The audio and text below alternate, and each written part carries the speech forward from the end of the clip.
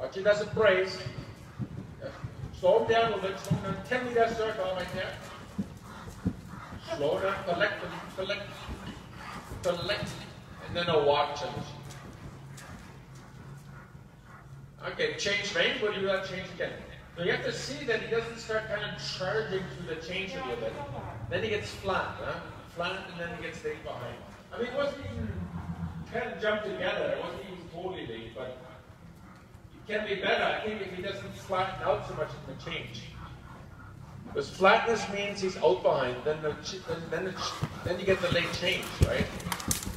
Do it again. Fine change.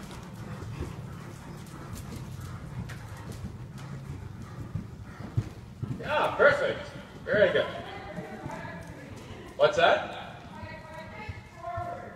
Yeah, but it was a nice change. Like it was clean. 20 meters Then do another half diagonal and then a flying change.